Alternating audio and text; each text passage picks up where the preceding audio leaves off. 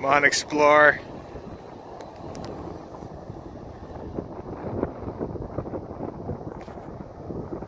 Oh yeah, easy peasy.